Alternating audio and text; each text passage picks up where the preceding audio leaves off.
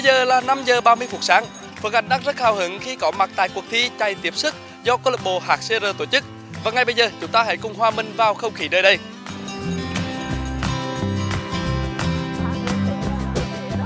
Hơn 200 vận động viên và người nhà đã đến với cuộc thi. Họ là cán bộ, công chức, học sinh, sinh viên và cả những du khách nước ngoài. Trong số này có không ít người lần đầu tiên tham gia một cuộc thi chạy bộ. Đã nhiều lần tổ chức, đây là một sự kiện được chỉnh các thành viên câu lạc bộ chạy bộ HCR cùng nhau lên kế hoạch thực hiện hàng năm. Mục tiêu đó là tạo ra một cái sân chơi cho tất cả thành viên từ những người nhỏ tuổi nhất à, thành viên khoảng à, 6 tuổi và lớn tuổi nhất là à, hơn 60 tuổi. Đây là một cái cuộc chạy tiếp sức nên đòi hỏi tính đồng đội rất là cao.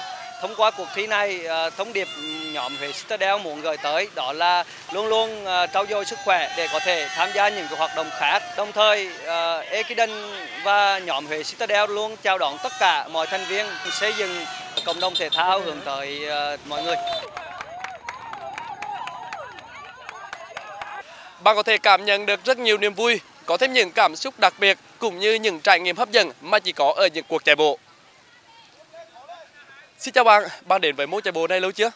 À, mình đến với môn chạy bộ này là vào tháng 11 năm 2019 và thật bất ngờ đó là khi giải BIDV tổ chức và mình đã được nhờ uh, cái mục tiêu đó và mình phấn đấu để để mỗi môn chạy bộ. Mình đã tham gia rất nhiều môn thể thao rồi như gym như uh, bóng chuyền, bóng rổ nhưng mà thật sự là mình cảm thấy chạy bộ rất thích hợp với tất cả mọi lứa tuổi và đặc biệt là không khí ngoài trời nó đem lại cho mình cảm giác là mình thích thú hơn và muốn lao vào chạy bộ nhiều hơn.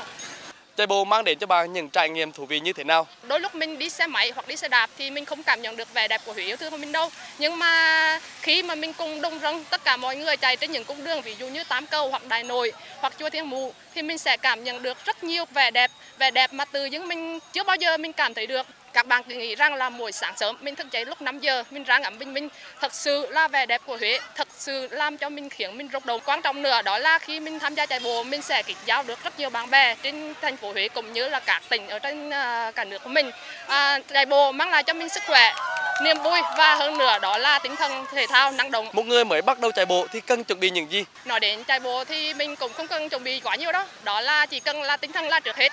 Có tinh thần, mình sẽ đem giày và ra đường và chạy thôi. Và khi mình ra đường thì đôi lúc mình cũng có khó khăn nhiều, đó là sự nản của tất cả các bạn. Tại vì mới ngày đầu mình chạy cảm giác là nản lắm. Mình không thể là cứ thức giấc vậy rồi lại chạy ngày này lặp lại cái khác. Nhưng mà chỉ mình chỉ cần quyết tâm, đó là tinh thần của mình và thứ hai là mình cứ nghĩ ra chạy bộ, mình sẽ đem lại cho mình sức khỏe. Xin cảm ơn những chia sẻ của bạn.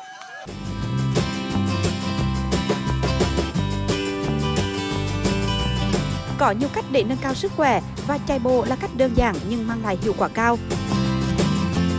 Những người trẻ xứ Huế với đôi chân bền bỉ thức dậy hàng ngày vào sáng sớm để chạy với bình minh.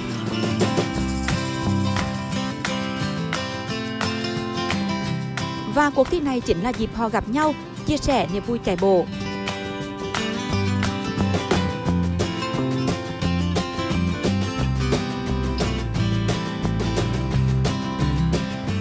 Hai mươi lăm team đã cùng nhau tranh tài. Mình à, thấy là một buổi sáng sớm mà được chạy bộ và được uh, hít thở không khí trong lành cùng với ngắm cảnh sắc Huế nữa thì đúng là tuyệt vời nhất. Tham gia cuộc thi thì đồng hành được rất nhiều bạn có cùng đam mê và cái thứ hai nữa là uh, cũng là một cái sân chơi bổ ích để cho mọi người gặp gỡ nhau và chia sẻ cái tình yêu thể thao, yêu chạy bộ. Với nhiều bạn trẻ, chạy bộ cũng là cách mang đến cho bản thân những thử thách tuyệt vời. Và có những trải nghiệm thú vị khi cùng bạn bè chạy giữa phố xá, giữa thiên nhiên của một buổi sáng yên bình.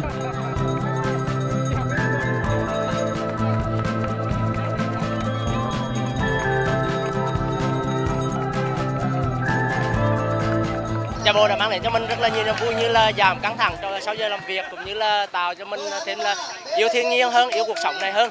Thì uh, bên cạnh đó thì tham gia giải lần này thì uh, tạo sự gắn kết uh, tình yêu thương giữa người và người và cũng như là thiên nhiên.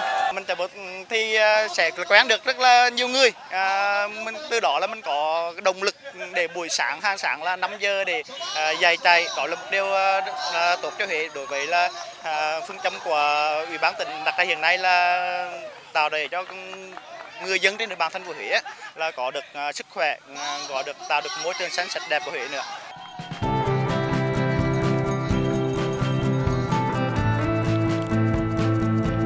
Niềm vui của 125 vận động viên tham gia cuộc thi chạy tiếp sức hôm nay là khoảnh khắc về đích. Không phân biệt bằng bao nhiêu tuổi, đang làm nghề gì và thậm chí mang quốc tịch nào. Chạy bộ chắc chắn mang đến cho các runner sự vui vẻ thoải mái.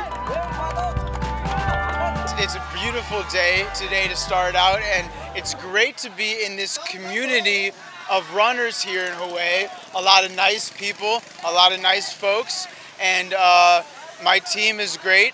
Uh, I love my team and this is my first competition in Hawaii and uh, it was really fun. It was a really great time. So I feel great, and I'm hoping to do another one.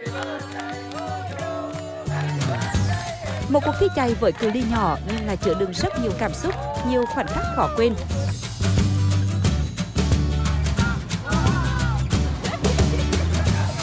Đó là một hình ảnh đẹp của những người trẻ tuổi năng đồng luôn hướng đến lối sống tích cực giữa nhịp sống hội hạ hôm nay.